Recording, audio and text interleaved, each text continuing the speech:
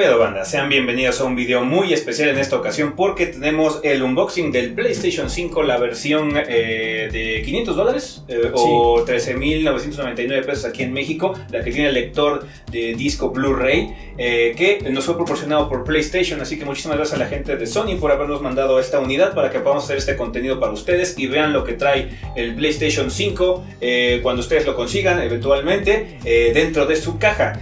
como podrán notar, está bastante voluminoso el paquete. Sí, es bastante grande. Sí, entonces tenemos mucha leyenda aquí enfrente. Tenemos compatibilidad con 8K, 4K 120 frames, 120 Hz o 120 frames por segundo y HDR también.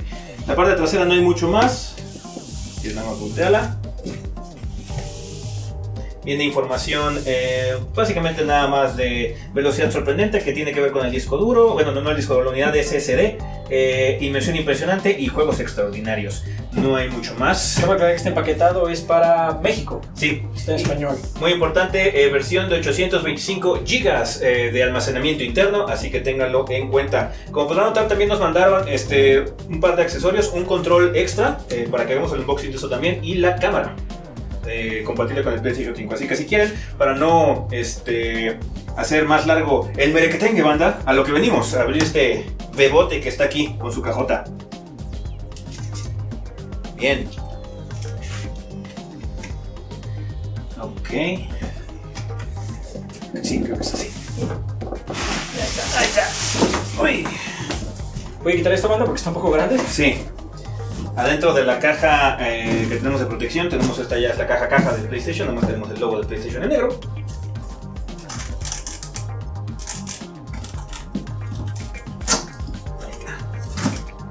Bien, bien instructivos de cómo sacarlo. Ah, tiene una caja tiene arriba. Un, sí, una caja arriba. Debe tener una lengüeta. Aquí está. Aquí está. ¿Y quieres ver la caja o sacamos primero el.? Yo creo que sacar el, el Nini.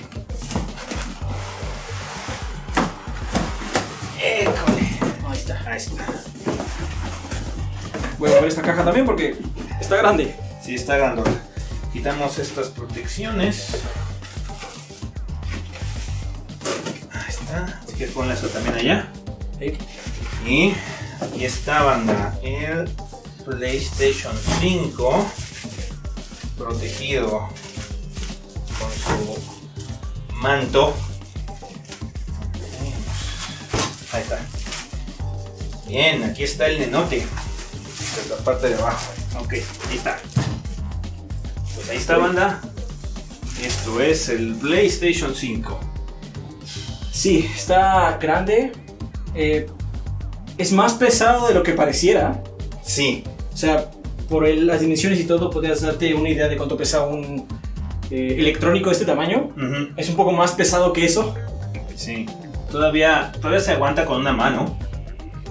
Pero sí, como que por el peso sí sientes como que la necesidad de agarrarlo con dos. Sí, sí. Eh, pero está bastante grandecito. El bebé eh, se ve, siento que se ve un poquito diferente a como se ven las fotografías cuando ya lo tienes sí. aquí en persona. Eh, la, la, consola tiene una forma de V invertida, básicamente. Sí, como un 5. cuenta un 5 en romano. Entonces, eh, también eso aplica en la parte trasera. Sí. Eso está más delgado hacia atrás. Si lo estás viendo en nuestra perspectiva, uh -huh. se ve como más delgado de lo que es. Está raro. Supongo que es por la cantidad de curvas que tiene. Sí, está. Está mono.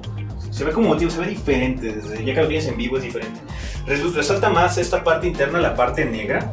Porque sí, es como una textura brillante. Eh, sí, es como acabado piano black. Acabado piano black, sí. Si tuvieron un Play 4 original. Sí o un Play 3 también original. Sí, el, FAT.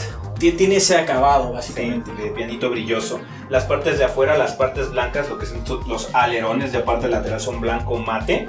Sí. Y lo que tiene padre es que tiene textura en la parte interna. Eh, bueno, ya se, de, se notó el easter egg de que tiene X, cuadros, triángulos y círculos en la, en la textura interna de sí, esta parte. Pequeñísimos, muy finos. Está muy mono ese, ese asunto. Ahora bien, eh, cabe aclarar una cosa. Se puede poner de pie, pero aquí debe venir una base. Sí. Porque horizontal así no se puede poner. Así, miren, si quieren este, lo ponemos y horizontal eh, pues no, no tiene, no tiene integridad porque es curvo.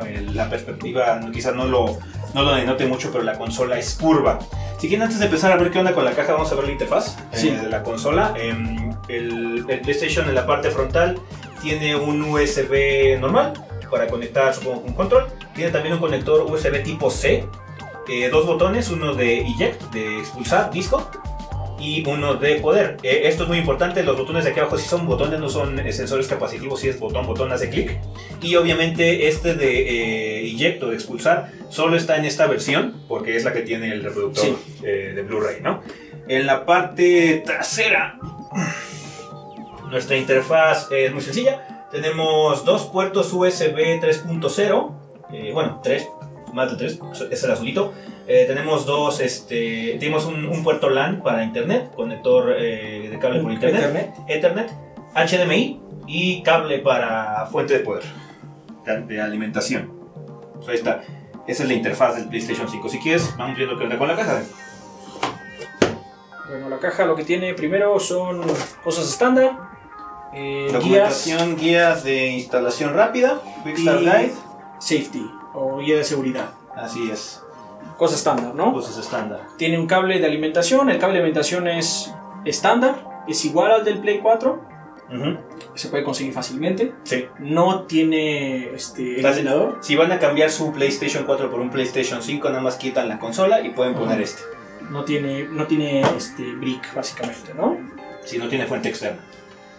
Aquí, esto es el control, pero eso otra vemos. Porque viene dos cosas importantes aquí: un HDMI un cable HDMI banda. Este es muy importante porque el cable HDMI ya es 2.1. Recuerden que el PlayStation 5 ya es compatible con el protocolo HDMI 2.1, que es muy importante para 4K. Eh, y 120 frames por segundo también. Entonces, eh, de preferencia, utilicen este cable a menos de que ustedes ya estén manejando un HDMI 2.1, un cable HDMI 2.1 que sepan que es 2.1. Si no, por favor, utilicen el cable que viene en su caja banda. Así sí, por último, lo que les mencionamos, la, base. Si quieres, este, explícalo la base, porque de hecho es más. Eh, pues más raro de lo que uno pensaría, porque la base de hecho también funciona para la parte vertical. Sí, como podrán ver ahorita la consola está eh, en vertical, realmente no tiene mucho movimiento, no se mueve, pero eh, la base está pensada para utilizarla en las dos eh, perspectivas de la consola, tanto en horizontal como en vertical. Para poder usarlo en vertical hay que mover esta parte, este como ganchito que tiene la base hacia acá. Y lo que hace es que suelta como un seguro de esta lengüetita que está aquí para que esta se pueda bajar porque si, si lo tienes en, el otro, en, la otra, en la otra disposición, es rígida, para que esto sostenga a la, la consola de forma eh, horizontal. Vertical lo que hacemos es nada más girarlo para acá, y cuando hacemos el giro, aquí abajo se, eh, ¿Desbloquea? se desbloquea un tornillito, un compartimiento que tiene un tornillito, que ese tornillito va en esta parte central de la base, para atornillar tu consola. La consola en la parte inferior tiene un botoncito de plástico. Si no, si no lo están viendo, se, les vamos a poner un close-up banda. Este botoncito se le quita. Y ahí se, básicamente con eso se alinea para que el tornillito pueda eh, asegurar tu consola y que no se eh, mueva. Eh, si quieren nada más para darles una idea de cómo está la situación, em, la consola, em, la parte de atrás, este ganchito tiene que entrar en las ventilas que están aquí, según yo. Sí, está. Encaja bastante bien. Eh, obviamente está centrado ya con el agujero y esta es la, forma o la función que debe tener la consola ya eh, en vertical. En vertical, ¿no? Muy bien, se ve bastante bien. Em, en horizontal, pues bueno, como les dijimos, realmente la, consola no, no, puede estar sin la base porque eh, tiene una forma curva. Entonces es muy importante, ya ahí, este... Si lo puso mal de si quieres lo, si quieres lo quitamos, luego vemos bien cómo se pone. Ponemos por acá. Este, la, la pinza tiene que estar así como en esta posición. En la parte trasera de la consola hay unas marcas que son los símbolos de PlayStation en uno de, las, de los alerones. Y ahí es donde tienen que ir eh, las tenacitas de esta cosa. Y ahí está. Con eso la consola ya no se mueve. No se mueve, ya está sólida. Entonces está bastante versátil la, la base. Digamos que está, está más interesante, no es solo una base y ya, sí tiene como que más funcionalidad, entonces está bastante bien. Entonces tengan cuidado, obviamente usen su base para horizontal por lo menos. Sí, este es, este es indispensable, banda, por favor. Por favor. En vertical también hágalo de una vez para que les dé mayor estabilidad, pero aquí sí, horizontal es sí o sí. Así es. pero bueno, aparte de la consola, sí. la caja trae un control, muy importante. Sí. El Dual Sense, eh, que se siente bastante robusto. Es la primera vez que lo agarramos, banda, y está Está gordito. Está un poco más grande, me parece. Sí. Es un poco más grande que el de. El DualShock 4. El DualShock 4. De hecho, seguramente en los close-ups estarán viendo quizás otro. Aquí tenemos uno azul. Es un poquito más grande. Eh, Pero no, no drásticamente. Es esta parte la punta es un poco más grande. El cuerpo también, el grip, el, agarre que tienes en las manos, en las manijas, sí es como un poquito diferente. Sí, digamos que se parece más a las versiones como grandes de las otras consolas. Ajá. Entonces, si ustedes sentían que el DualShock 4 era muy pequeño, este quizás lo satisfaga más. Me gusta, me gusta cómo se sienten los shoulder buttons, de hecho. Sí, tiene más tecnología que ahorita no vamos a poder probar. No. Pero lo que sí cabe aclarar es que se siente igual de ligero que uno del Play 4. no. es integralmente más pesado. Entonces, a mí no me molesta que los controles sean ligeros. No. Está, tiene el peso ideal, no, es así como que súper pesado ni súper ligero. No, es una, no es una pluma. Sí, ¿no? Pero sí es un control ligero a comparación de otros. También aquí en la textura del control tiene eh, las... Ah, lo mismo que tiene esto. Sí, entonces que es súper, súper chiquito. Entonces vamos a ver si podemos hacer un close-up para que se pueda ver. Banda está bastante mono el detalle. Sí, es un easter egg divertido. Ajá. Eh, obviamente el control tiene em, varias cosas. Obviamente tiene su botón de home button de PlayStation, que ahora es como, de hecho ya está iluminándose. Este, buscando un PlayStation 5 con conectarse. Ahora el botón no es circular, es un símbolo de PlayStation. El, ahora el D-pad y los botones frontales son transparentes digamos que ya no tenemos el código de colores clásico. Eh, tenemos nuestro botón de opciones, que ahora tiene el simbolito de la hamburguesita, y el de Create, que ya no es Share, ahora es Create. Eh, el trackpad regresa, es un poco más grande que el del PlayStation 4. Eh, Quizás está bien porque está en forma de... Como de trapezoide, sí. los sticks se sienten muy bien. En la parte de abajo tenemos un micrófono integrado dentro del control. Es para que puedas mandar mensajes rápidos sin tener que tener un headset conectado. Y si no, abajo viene el conector de jack para este, tu eh, headset y estos, estas terminales metálicas es para cargar el control. Hoy hay, un hay un cargador especial. Hay un cargador especial por si quieres cargar más de un control a la vez. Obviamente tenemos nuestro conector en la parte superior, eh, tipo C. Y ahora la luz eh, ya no está aquí arriba, ahora la luz está atrás del trackpad para que no sea tan voluminosa. Sí. Por último, muy obvio, cargador. Sí. Este cable es USB tipo C. Entonces, eh, es lo que usan hoy, hoy día este, muchos, celulares, y varios dispositivos. Varios dispositivos, entonces ya no es tan raro eh, conseguir un tipo C. Entonces, para cargarlo necesitas un USB tipo C. Bien, eh, eso es todo lo que viene en la caja. Es todo lo que viene en la caja. Si quieres, pasamos a los otros componentes. Si quieres, abrimos el paquete del control. Bueno, disculpa, banda, aquí tuvimos un pequeño accidente al sacarlo. Entonces, nada más. tengan cuidado, estas, estas, estas cajitas protectoras que tienen los dispositivos están como muy Delgadas. Muy delgaditas. Viene con.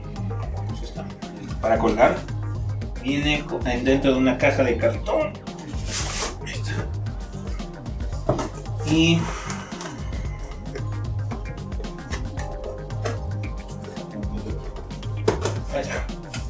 Tiene un control aquí en la parte de adentro. Y una guía documentación y... Y eso es todo, me parece. Eso es todo. No viene cable. Muy importante, banda. No viene cable. El control es exactamente igual, es un DualSense eh, para PlayStation 5, igual de color blanco, eh, con acabados en negro. Nada más que muy importante, banda, en el paquete del control no viene otro cable para cargar. Eh, el único cable que van a traer de cajón como producto PlayStation es el que viene en su consola. Pero estos cables ya son muy comunes, así que no deberían tener mucho problema para conseguir otro. No son nada caros realmente tampoco. No, ya, ya, es el estándar. Entonces, de hecho, probablemente tienen uno o dos por ahí en su, sí, porque otros controles ya los usan para cargar. Sí, entonces sí. Eh, Tengo que decir que la textura de los Sí, como que está diferente, ¿no? La textura de los sticks está un poco diferente. Son similares la forma al del 4, pero tiene un poco más de textura alrededor. Quieres abrimos la cámara. la cámara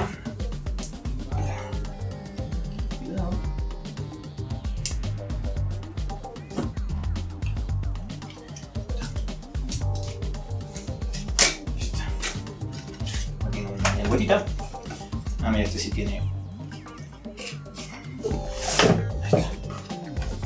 Em, igual, caja de Y aquí está. PlayStation. También trae una documentación pequeña. No trae nada abajo porque se ve como que tiene más. No debería, o sea. No, no, no. Aquí está. Eh, la cámara está eh, bastante compacta, de hecho es mucho más chiquita. Bueno, me da la impresión de que es más pequeña que la del PlayStation 4. Em, por lo menos la versión 2.0 de esta cámara. Lo que tiene es que trae la, basecita o el cuellito integrado para poder adaptarlo ya sea a tu televisor o en caso de que ah. estés poniéndola en, en, una superficie plana, la puedes elevar, puedes elevar la inclinación. Sí, básicamente lo que tiene atrás son unas bisagras que hace que se mueva así. Sí. Entonces está, está bastante mona. Eh, igual trae, dos, este, dos cámaras para eso de la perspectiva. Eh, obviamente tiene cable, ahora es USB, para que lo conectes en la parte trasera de tu consola. Y bueno, viene eh, unido el cable al, cuerpo de la cámara por completo, ¿no? Entonces, bastante bien. De hecho, ojalá les, hayamos hecho una toma de close-up panda para que... Muy seguramente. Para que puedan ver. De hecho, la cámara, parte de la base, se puede ajustar. La parte del cuerpo negro se puede ajustar también. Entonces, para que no haya problemas y que los vea su nueva cámara de PlayStation 5. Y bueno, banda, eso sería todo con respecto a este video. Eh, pues el PlayStation 5 está bastante padre, muy voluminoso, pero eh. Sí, bueno, ahorita hay unas comparativas, pero si ven este show, sí. sabrán bien qué onda, ¿no? Este, nada más con el tamaño de la mesa. Así es, ojalá hayamos podido, hayamos podido darles una comparativa con respecto a las otras, a las consolas anteriores de Sony, que es eh, todas las versiones del PlayStation 4, eh, comparado con un PlayStation 4 eh, regular, un Slim y un PlayStation 4 Pro para que vayan viendo qué onda con la situación del tamaño. Y bueno, muchísimas gracias por habernos acompañado en este video. Ojalá eh, les haya gustado. Muchísimas gracias de nueva cuenta PlayStation Latinoamérica, a la gente de Sony que nos mandó esta unidad para poder hacer este contenido para ustedes. En esta ocasión es lo único que vamos a poder abarcar, pero habrá más eh, videos al respecto del PlayStation 5. De hecho, tenemos que hablar del control banda. Eh, algunas situaciones, pero ya será un video completamente diferente. Así que muchísimas gracias por habernos acompañado. Ojalá se hayan divertido. Y pues bueno, para más contenido sobre PlayStation 5 y la nueva generación de consolas que comienza para Sony el 12 de noviembre, pues bueno, quédense aquí en 3GB. 臨みます、また。バイ。バイ。